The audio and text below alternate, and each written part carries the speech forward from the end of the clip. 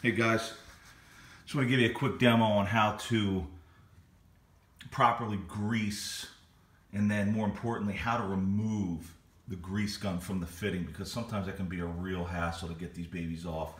So check this out real quick. First thing you want to do is you want to clean this fitting. You want to make sure we don't have any schmutz in there because you don't want to pump dirt into the spindle in this case. But this will work and hold true for whether it's a bearing that you're filling grease on or what have you. So you can take your grease gun, here's the gun, and I apologize for the camera work. This is what I have until I upgrade, but I'm gonna pump it however many times. In this case, it says five in the manual.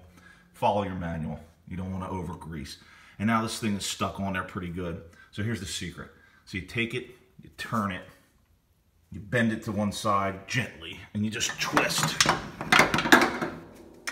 It comes right off. It might take a couple times, you might have to work it a little bit, but the secret is to tilt it and to turn while you're tilting. I hope that helps you out because it was a problem for me and that's why I'm making this video. Good luck to you.